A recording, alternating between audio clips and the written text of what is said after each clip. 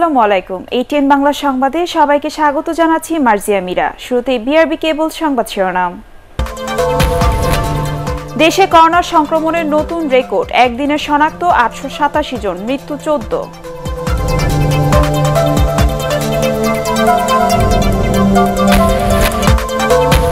Corona মুক্ত হয়ে একদিনে হাসপাতাল ছাড়লেন বাহাত্তর পুলিশ সদস্য। করোনা ভাইরাসে আক্রান্ত হয়ে সাবেক প্রতিমন্ত্রীর মৃত্যু।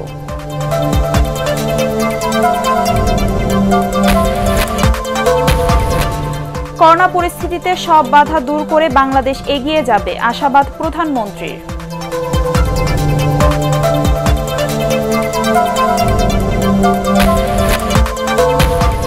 ছুটি চলাকালীন নিম্ন আদালতে ভিডিও কনফারেন্সের মাধ্যমে জামিন, আবেদন, নিষ্পত্তির নির্দেশ প্রধান বিচারপতির।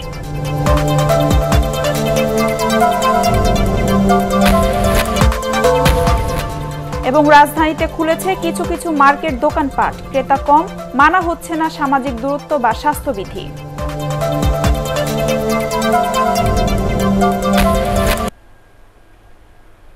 শুনছিলেন বিআরবি কেবল সংবাদ শিরোনাম। সংবাদ এছাড়াও থাকছে, কর্মীদের সুরক্ষায় এটিএন বাংলা কার্যালয়ের প্রবেশ পথে বসানো হলো জীবাণুনাশক টানেল।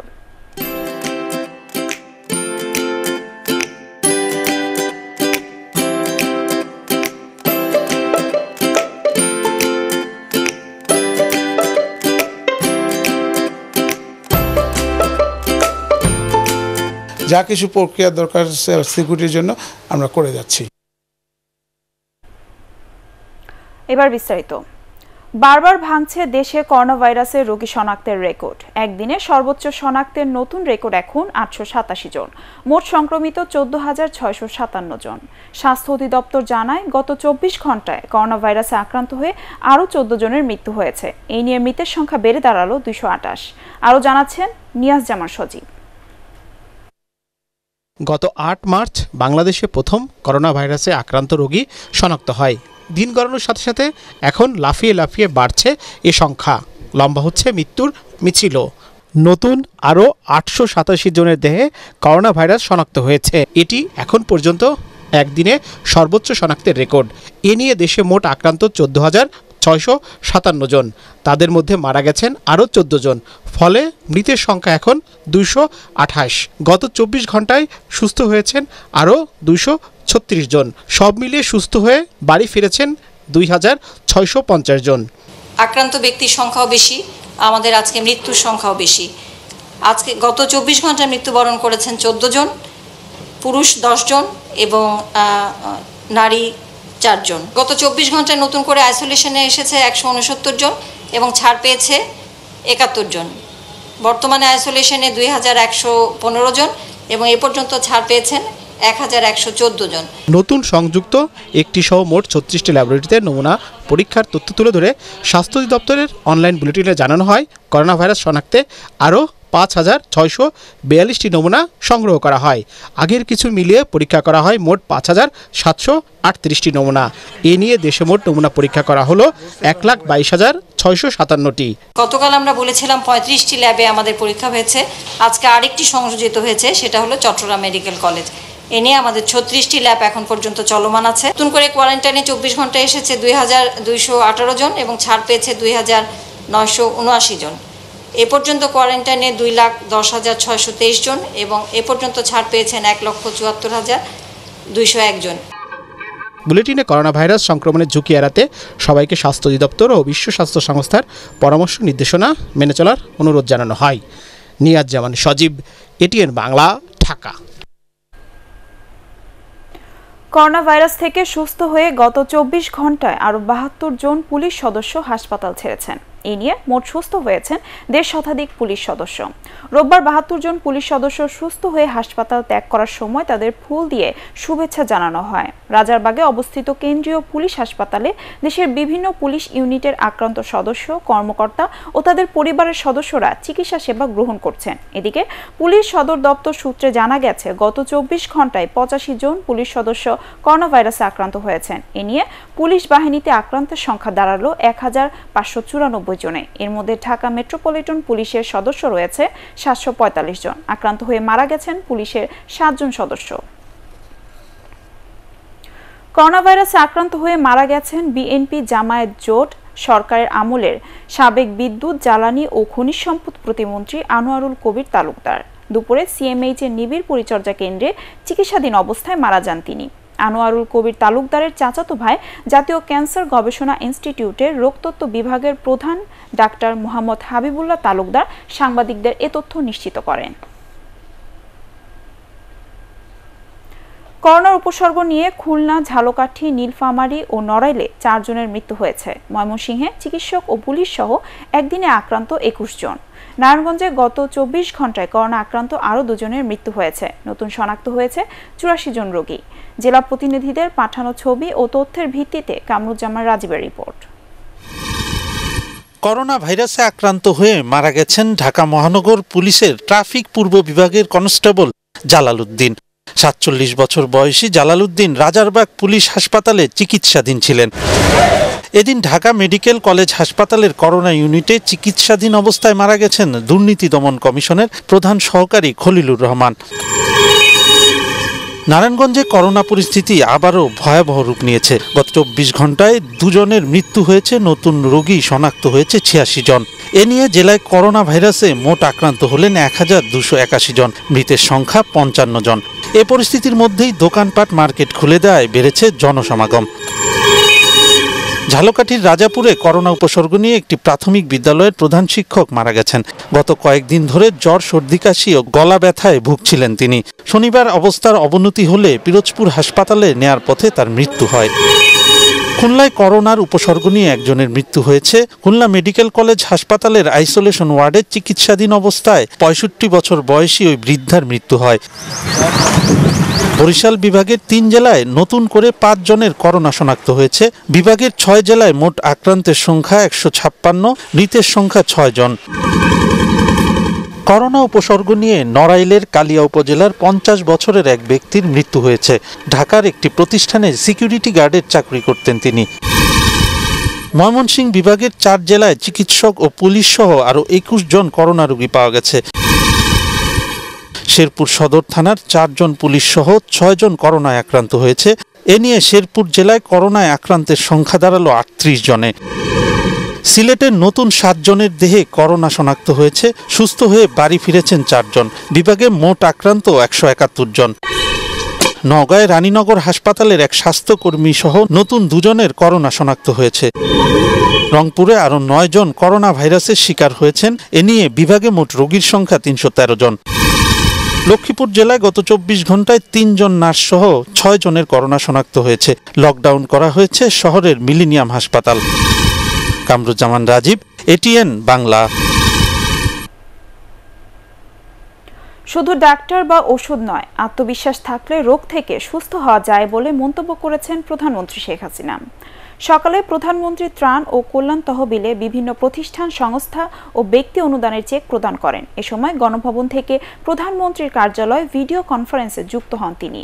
বিশ্ব করোনা পরিস্থিতিতে সব বাধা দূর করে বাংলাদেশ এগিয়ে যাবে বলে আশা করেন প্রধানমন্ত্রী। এ সময় স্বাস্থ্য মন্ত্রণালয় ও বিশ্ব স্বাস্থ্য সংস্থার স্বাস্থ্যবিধি মেনে চলতে সবাইকে পরামর্শ দেন শেখ হাসিনা। সরকারের বিভিন্ন মন্ত্রণালয়, সংস্থা, প্রতিষ্ঠান, বিভিন্ন স্কুল ও বিশ্ববিদ্যালয়, বিমা ও ইন্স্যুরেন্স কোম্পানি এবং পল্লী কর্ম সহায়ক ফাউন্ডেশন সহ সাতান্নটি প্রতিষ্ঠান, সংস্থা ও ব্যক্তি অনুদানের চেক প্রধানমন্ত্রীর মুখ্য সচিব ডক্টর আহমদ কায়কাউসের হাতে তুলে দেন। এই অসুখ বিসুখ হলে পরে মানুষকে মনে সাহস রাখতে হবে। কারণ শুধু ডাক্তার বা ওষুধ দিয়েই ভালো হবে না, মনের জোর থেকে, আত্মবিশ্বাস থেকেও কিন্তু অনেকটা সুস্থ হওয়া যায়। আর সেই সাথে সাথে আমাদের এই সমস্ত নির্দেশনা দেওয়া হয়েছে বা বিশ্ব স্বাস্থ্য সংস্থা যে সকল নির্দেশনা দিয়েছে, সকলকে সেটা মেনে চলতে হবে। সেটা মেনে চলতে হলে পারলেই কিন্তু পরিষ্কার পরিচ্ছন্ন থাকা এবং নিজেকে সুরক্ষিত রাখা, কোনো বড় জায়গায় না মানা একসাথে না হওয়া এগুলি মাধ্যমে সংক্রামিত যাতে না হয়, সেদিকে দৃষ্টি দেওয়া। ছুটি চলাকালীন নিম্ন আদালতগুলোতে ভার্চুয়াল কোর্ট বা ভিডিও কনফারেন্সের মাধ্যমে জামিন আবেদন নিষ্পত্তির নির্দেশ দিয়েছেন প্রধান বিচারপতি। সুপ্রিম কোর্টের রেজিস্ট্রার জেনারেল আলী আকবর স্বাক্ষরিত বিজ্ঞপ্তিতে কথা জানানো হয়েছে। বিজ্ঞপ্তিতে বলা হয়, করোনাভাইরাস সংক্রমণ মোকাবেলা ও এর ব্যাপক বিস্তার রোধে সতর্কতামূলক ব্যবস্থা হিসেবে ষোলো মে পর্যন্ত সকল আদালতে ছুটি ঘোষণা করা হয়েছে।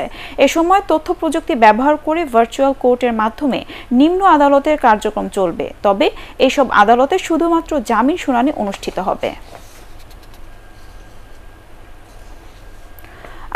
আদালত কর্তৃক তথ্য প্রযুক্তি ব্যবহার অধ্যাদেশ একটি যুগান্তরকারী আইন বলে মন্তব্য করেছেন আইনমন্ত্রী আনিসুল হক।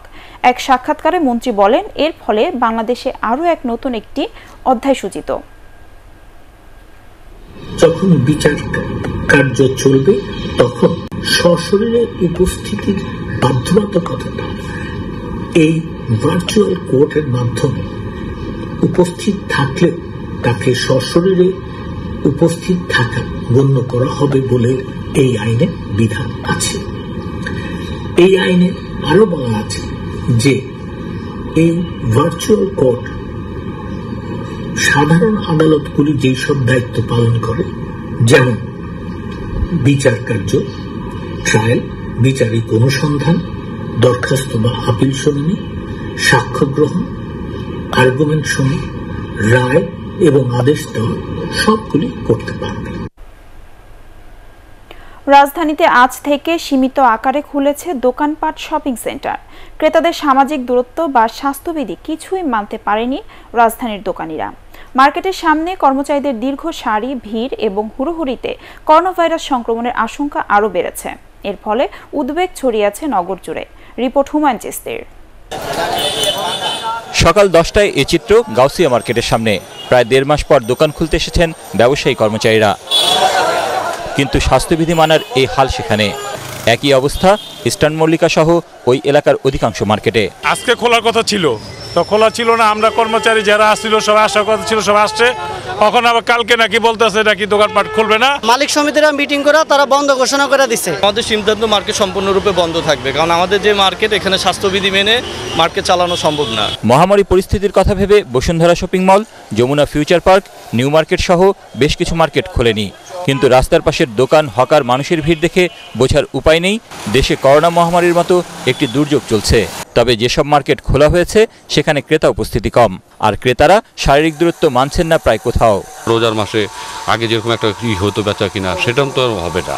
এ পর্যন্ত সকাল থেকে আমরা বসে আছি এক পিস জামা বিক্রি করি নেই। খোলা রাখছি দেখা যাক দুই তিন দিন খোলার পরে বোঝা যাবে যদি পরিস্থিতি এরকমই থাকে তাইলে আর খুলে লাভ নাই হয়তো বন্ধ করে দেওয়া হবে। শপিং মল ও মার্কেটের পাশাপাশি ইলেকট্রনিক্স সহ অন্যান্য সামগ্রী বিক্রির দোকানপাটও খোলা হয়েছে নানা জায়গায়।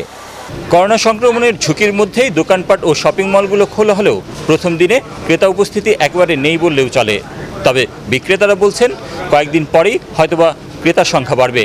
তবে তারা এও বলছেন যে ক্রেতার সংখ্যা অনেক বেড়ে গেলে শারীরিক দূরত্ব বজায় রাখার যে স্বাস্থ্যবিধি, তা মানা হয়তো তাদের পক্ষে সম্ভব হবে না। সেক্ষেত্রে আবারও বেড়ে যেতে পারে সংক্রমণের ঝুঁকি। হুমায়ুন চিস্তি, এটিএন বাংলা, ঢাকা। দেশের করোনা পরিস্থিতিতে মাঠে না নেমে সরকারের উদ্যোগকে বাধা, বাধাগ্রস্ত করতেই বিএনপি তৎপর বলে মন্তব্য করেছেন তথ্যমন্ত্রী ডক্টর হাসান মাহমুদ। সরকারের সমালোচনার আগে দলটিকে ইউরোপ, আমেরিকা সহ উন্নত দেশের পরিস্থিতি পর্যালোচনার কথাও বলেন তিনি। আমাদের দেশে এখনও অনেক দেশের তুলনায় পরিস্থিতি ভালো আছে। তাই বলে যে কোনো পরিস্থিতি তৈরি হতে পারে, পরিস্থিতি মারাত্মক আকার ধারণ করতে পারে। সেজন্য সরকারের নানা ধরনের প্রস্তুতি নেওয়া হয়েছে এবং নেওয়া হচ্ছে। আমি মির্জা ফখরুল ইসলাম আলমগীর রিজভি আহমেদ সহ বিএনপি নেতাদেরকে সবিনয়ে অনুরোধ জানাব। ইউরোপ, আমেরিকা, ভারত, পাকিস্তানের পরিস্থিতির দিকে তাকিয়ে, এরপর বাংলাদেশের করোনা পরিস্থিতি নিয়ে তাদের মন্তব্যটি করার জন্য।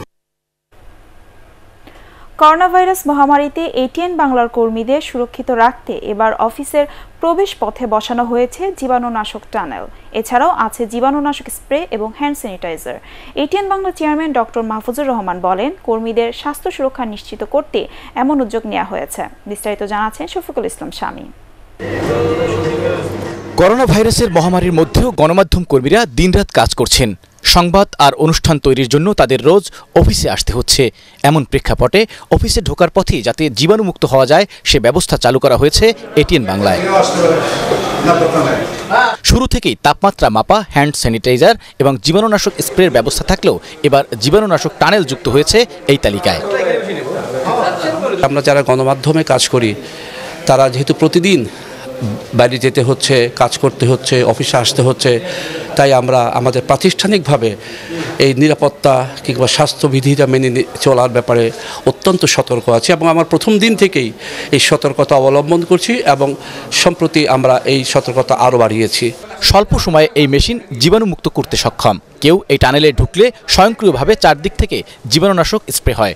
অটো সেন্সর ইউজ করেছি, যে কোনো মানুষ ভিতরে ঢোকার সাথে সাথে অটোমেটিক্যালি সে ডিসইনফেক্ট হয়ে যাবে স্প্রেটা অটোমেটিক্যালি হয়ে যাবে।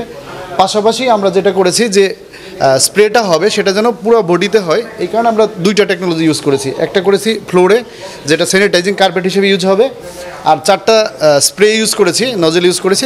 কর্মীরা যাতে নিরাপদে কাজ করতে পারে এবং শঙ্কামুক্ত থাকতে পারে, সেজন্যই স্বাস্থ্য সুরক্ষার সব ধরনের ব্যবস্থা রাখা হয়েছে বলে জানান প্রতিষ্ঠানের chairman doctor Mahfuzur Rahman. Media এমন একটা জায়গা যেখানটা আমরা এক মিনিটের জন্য যেটা বন্ধ রাখতে পারি না, আমাদের এটা দিন রাত চব্বিশ ঘণ্টা চলে। সুতরাং আমাদের কর্মীদেরকে দিন রাত চব্বিশ ঘণ্টা কাজ করে যেতে হয়। কারও যদি আমরা চাই যে তার বাসায় বসে থাকো এটা বলার উপায় নেই। কারণ যদি বলা হয় তাহলে আমাদের এই প্রোগ্রাম চলবে না বা নিউজ চলবে না। সেই জন্য সব কর্মীকে আসতে হয়। সেই কারণেই আমরা যত সম্ভব যা কিছু প্রক্রিয়া দরকার সিকিউরিটির জন্য আমরা করে যাচ্ছি। করোনা পরিস্থিতির এমন দুর্যোগে স্বাস্থ্য নির্দেশনা মেনেই এগিয়ে যেতে চায় এটিএন বাংলা পরিবার। শফিকুল ইসলাম শামীম এটিএন বাংলা ঢাকা। সময়ের আগে বিষাক্ত কেমিক্যাল দিয়ে পাকিয়ে বিক্রির জন্য মজুত করায় রাজধানীর বাদামতলি আড়ত থেকে চল্লিশ টন আম জব্দ করেছে র্যাবের ভ্রাম্যমাণ আদালত। একই সঙ্গে জব্দ করা হয় চার টন পচা খেজুর। এজন্য বারোটি প্রতিষ্ঠানকে একচল্লিশ লাখ টাকা জরিমানা করা হয়। শারমিন রিহার রিপোর্ট। র্যাব ও কৃষি সম্প্রসারণ অধিদপ্তরের কর্মকর্তারা যৌথভাবে এ অভিযান পরিচালনা করেন। অভিযানে বাক্সে বাক্সে ভর্তি কাঁচা আম কেমিক্যাল দিয়ে পাকানো অবস্থায় পাওয়া যায়। এ সময় আমগুলো কেটে দেখা যায় ভেতরের আটি অপরিপক্ক। অভিযুক্ত ব্যবসায়ীরা কাঁচা আম কেমিক্যাল মিশিয়ে পাকানোর দায় বাগান মালিকদের উপর চাপিয়ে নিজেদের নির্দোষ দাবি করেন। কাগজ যেটা গোবিন্দভোগ এটা একটু বয়স হইলে এটা পেপার দিয়ে পেঁচাইলে একটু রং হয়। পচা খেজুর প্যাকেটজাত করে বিক্রির ঘটনাও ধরা পড়ে র্যাবের অভিযানে। র্যাবের ম্যাজিস্ট্রেট বলেন করোনা ভাইরাসের প্রাদুর্ভাবের কারণে ভ্রাম্যমাণ আদালতের অভিযান শিথিল হওয়ার সুযোগে মুনাফালোভী ব্যবসায়ীরা মানুষকে ঠকাতে কাঁচা আম ও পচা খেজুর অতি লাভের আশায় বাজারে বিক্রির জন্য তৎপর হয়ে উঠেছে। আমরা এই ঘটনায় এখান থেকে বেশ কয়েকজনকে আমরা আটক করেছি। আমরা এখনও দেখছি আসলে যে এইটা তারা কেন করতেছে, কারণ এই সরকারের আদেশ অমান্য করে এই কাঁচা আম কেন ক্যালসিয়াম কার্বাইড দিয়ে পাখি বাজারে নিয়ে আসছে। এসব আম এবং খেজুর শরীরের জন্য ক্ষতিকর বলে জানান কৃষি সম্প্রসারণ অধিদপ্তরের কর্মকর্তা। বাজার থেকে কখনো এই রঙিন আমটা যেন আমরা না কিনি। আমরা কাঁচা আমটাই ঘরে নিয়ে রাখি, পাকবে, নিজের ঘরে থেকে নিজে পাকবে, তারপরে খাব। যদি এটা খাই, আমাদের অন্তত থেকে শারীরিকভাবে আমরা যে এখন কথাটা বলি যে পুষ্টিকর খাবার খাওয়ার জন্য আমার রোগ প্রতিরোধতা বাড়ানোর জন্য। তাহলে ওইটা ওখানেই সম্ভব, কিন্তু এই আম খেলে কখনো রোগ প্রতিরোধতা বাড়বে না, বরঞ্চ কমে যাবে। অভিযানে চারটি আড়তে তালা লাগিয়ে সিলগালা করা হয়। ধ্বংস করার জন্য জব্দ করা হয় চল্লিশ টন কেমিক্যাল মিশানো কাঁচা আম এবং চার টন পচা খেজুর। শারমিন রিহা, এটিএন বাংলা, ঢাকা। চুয়াডাঙ্গার আমুল ডাঙ্গায় কুমারনদ থেকে খাদ্য মন্ত্রণালয়ের পঞ্চাশ বস্তা পচা চাল উদ্ধার করেছে জেলা প্রশাসন। শনিবার রাতে ওই চাল উদ্ধার করা হয়। এই ঘটনার রহস্য উন্মোচনে আজ সকাল থেকে সন্দেহভাজনদের গোডাউনে অভিযান চালানোর পরে উপজেলা শহরের আশোক সাহার গোডাউন থেকে আরও একশো বস্তা পচা চাল উদ্ধার করে ভ্রাম্যমাণ আদালত। কুমার নদে ফেলে দেয়া চাল আশোক সাহার গোডাউনের চালের সাথে মিল পাওয়া গেলে তাকে পাঁচ লাখ টাকা জরিমানা ও এক মাসের বিনাশ্রম কারাদণ্ড প্রদান করে গোডাউন সিলগালা করে দেয় ভ্রাম্যমাণ আদালত। এবার জানাব আন্তর্জাতিক সংবাদ।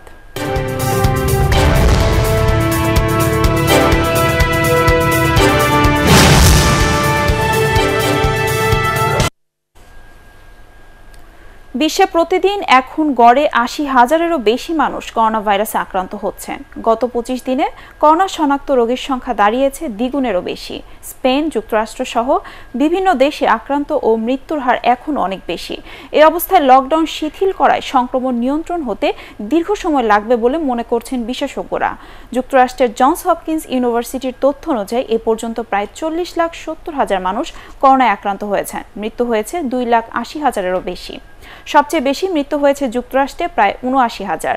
ব্রিটেনে মারা গেছে প্রায় বত্রিশ হাজার মানুষ। ইতালিতে মৃত্যুর সংখ্যা ছাড়িয়ে সাড়ে একত্রিশ হাজার। এদিকে টানা সাঁত্রিশ দিন পর করোনার উৎপত্তিস্থল উহানে আবারও একজন এ ভাইরাসে আক্রান্ত হয়েছেন পরীক্ষার জন্য করোনা ভাইরাসের পঞ্চাশ হাজার নমুনা যুক্তরাষ্ট্রে পাঠিয়েছে ব্রিটেন। পরীক্ষার চাপ সামলানোর সক্ষমতার অভাবে গত সপ্তাহে যুক্তরাষ্ট্রে অন্তত পঞ্চাশ হাজার নমুনা পাঠানো হয় বলে দেশটির সরকার স্বীকার করেছে। যুক্তরাজ্যের ল্যাবগুলোতে সমস্যা দেখা দেয় গত সপ্তাহে এসব নমুনা যুক্তরাষ্ট্রে পরীক্ষা করা হয়েছে বলে জানিয়েছে বিবিসি। ব্রিটেনের স্বাস্থ্য বিভাগ বলছে, ল্যাব সমস্যার কারণে পরিস্থিতি মোকাবেলা করার জন্য পঞ্চাশ হাজার নমুনা যুক্তরাষ্ট্রে পাঠানো হয়েছিল। ব্রিটিশ দৈনিক সানডে টেলিগ্রাফ জানিয়েছে স্ট্যান্ড স্টেট এয়ারপোর্ট থেকে একটি চার্টার্ড বিমানে করে করোনার নমুনাগুলো যুক্তরাষ্ট্রে পাঠানো হয়।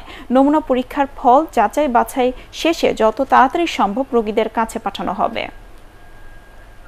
এবার জানাব পার্টেক্স খেলার খবর।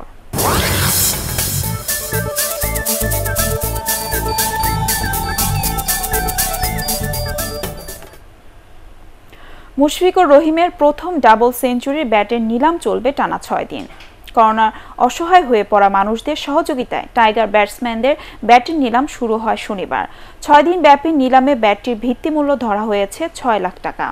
চোদ্দ মে রাতে শেষ হবে নিলাম প্রক্রিয়া। বাংলাদেশের অন্যতম সেরা ব্যাটসম্যানের ব্যাট নিলামে তুলেছে নিপকো স্পোর্টস ম্যানেজমেন্টের সহযোগী প্রতিষ্ঠান স্পোর্টস ফর লাইফ। একই প্রতিষ্ঠানের অধীনে অনলাইন নিলামে তোলা হয়েছে অনূর্ধ্ব উনিশ বিশ্বকাপ জয়ী অধিনায়ক আকবর আলীর জার্সি, গ্লাভস এবং মোসাদ্দেক হোসেন ও নাইম শেখের ব্যাট।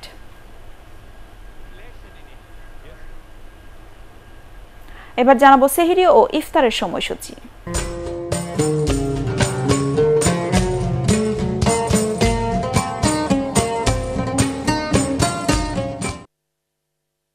জানিয়ে দিচ্ছি আজকের ইফতারের সময়সূচি। সোমবার ঢাকায় ইফতার সন্ধ্যা ছয়টা ছত্রিশ মিনিট, রাজশাহীতে সন্ধ্যা ছয়টা তেতাল্লিশ, চট্টগ্রামে ছয়টা সাতাশ, সিলেটে ছয়টা একত্রিশ, খুলনায় ছয়টা, বরিশালে ছয়টা চৌত্রিশ, রংপুরে ছয়টা তেতাল্লিশ এবং ময়মনসিংহে ইফতার সন্ধ্যা ছয়টা সাঁত্রিশ মিনিট। শেষ করার আগে বিআরবি কেবল সংবাদ শিরোনাম আরেকবার। দেশে করোনা সংক্রমণের নতুন রেকর্ড একদিনে শনাক্ত আটশো সাতাশি জন, মৃত্যু চোদ্দ।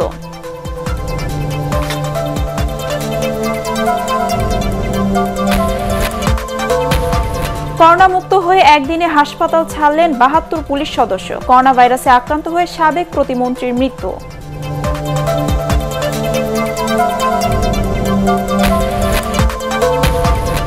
করোনা পরিস্থিতিতে সব বাধা দূর করে বাংলাদেশ এগিয়ে যাবে, আশাবাদ প্রধানমন্ত্রীর।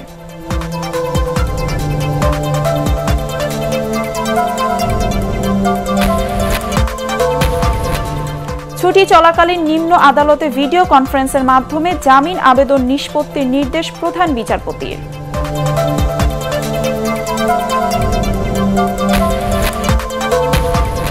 এবং রাজধানীতে খুলেছে কিছু কিছু মার্কেট দোকানপাট। ক্রেতা কম, মানা হচ্ছে না সামাজিক দূরত্ব বা স্বাস্থ্যবিধি।